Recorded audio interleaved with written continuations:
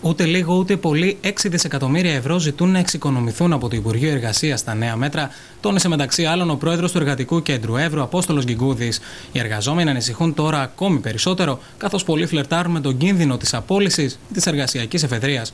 Ο κ. Γκυγκούδης επεσήμανε πως έτσι δεν βγαίνει λογαριασμός και πως είναι μέτρα τα οποία ήδη λαμβάνονται τα τελευταία χρόνια χωρίς κανένα ουσιαστικό αποτέλεσμα. Μήνας φωτιά αναμένεται να είναι ο ερχόμενος Σεπτέμβρης, καθώς θα σημάνει την άφηξη της φοροκαταιγίδας που θα πλήξει κυρίως χαμηλόμισθου και συνταξιούχους. Οι εργαζόμενοι θα κληθούν για μία ακόμη φορά να πληρώσουν τα σπασμένα, καθώς από το πακέτο των νέων μέτρων 6 δισεκατομμύρια ευρώ αφορούν το Υπουργείο Εργασίας. Τα μέτρα πλέον γίνανε χιλιόμετρα. Από τα 11,5 τα κάναμε 13,5. Πάλι το Υπουργείο Εργασίας επομίστηκε το μεγαλύτερο βάρος. Γίνανε 6 δισεκατομμύρια που πρέπει να κουπούν από το Υπουργείο Εργασίας που σε ελεύθερη μετάφραση σημαίνει ότι πάλι μείωση μισθών, μείωση κοινωνικών επιδομάτων, ε, μείωση του Ταμείου Ανεργίας, μείωση των συντάξεων, ε, μεγάλωμα του χρόνου συνταξιοδότησης, δηλαδή η αύξηση των ορίων ηλικίας. Ο κ. Γκυγκούδη επεσήμανε μεταξύ άλλων πως ο λογαριασμός δεν βγαίνει και πως η όλη κατάσταση είναι φαύλος κύκλος, καθώς λαμβάνονται τα ίδια μέτρα τα τελευταία χρόνια, χωρίς μάλιστα να έχουν κανένα θετικό αποτέλεσμα.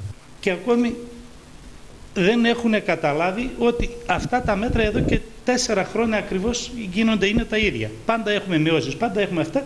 Μα είναι χειρότερο από ό,τι ήμασταν. Και συνεχίζουν πάλι στο ίδιο μοτίβο. Ε, δεν βγαίνει αυτή η λογική, δεν βγαίνει αυτή η πρακτική, δεν βγαίνει αυτή η τακτική, δεν βγαίνει ο λογαριασμός. Εκείνοι συνεχίζουν έτσι. Τα συνδικάτα είναι έτοιμα για δυναμικές κινητοποιήσεις αρχής γενομένης από τις 8 Σεπτέμβρη με τη διαδήλωση θεσμό της Θεσσαλονίκης. Στις 8 του Σεπτέμβρη τα συνδικάτα ετοιμάζουν την διαδήλωση, την καθιερωμένη πλέον στις, ε, της Θεσσαλονίκης. Ελπίζω αυτήν τη φορά να συμμετέχει ο κόσμος και να τους δώσει να καταλάβει ότι δεν πάει παραπέρα. Οι αντοχές και οι ανοχές του κόσμου έχουν τελειώσει.